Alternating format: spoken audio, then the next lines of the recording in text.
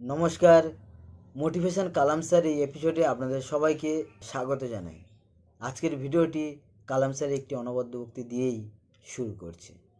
কালাম sir বলছেন যে, অন্যদের জানে সে শিক্ষিত, কিন্তু প্রকৃত জ্ঞানী হলো সেই যে নিজেকে জানে। জ্ঞান ছাড়া শিক্ষা কোনো কাজে আসে না।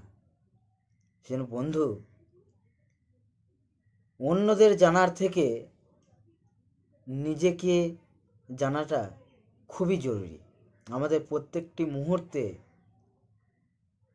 খুঁজতে হয় যে আমাদের মধ্যে বেটার কোয়ালিটি কি আছে, যেটা আমার জন্যই বেস্ট হবে এবং আমার ভিতরে থাকা যে সুপ্ত প্রতিভা, তাকে আমাকেই জাগিয়ে তুলতে হবে। এবং আমার খুঁজতে হবে। আমার ভালো লাগা, আমার নিজের আগ্রহের বিষয় সবই দিকই সব দিক দিয়েই নজর করে, খেয়াল রেখে আমাকে, আমার ভালো দিকগুলি জানার চেষ্টা করতে হবে এবং সেগুলিকেই কাজে লাগাতে হবে। আর সেটাই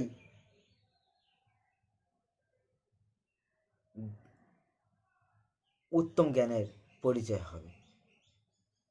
না তো? শিক্ষা এজন্যই যাতে আমরা আমাদের জ্ঞানকে বিকশিত করতে পারি। ধন্যবাদ।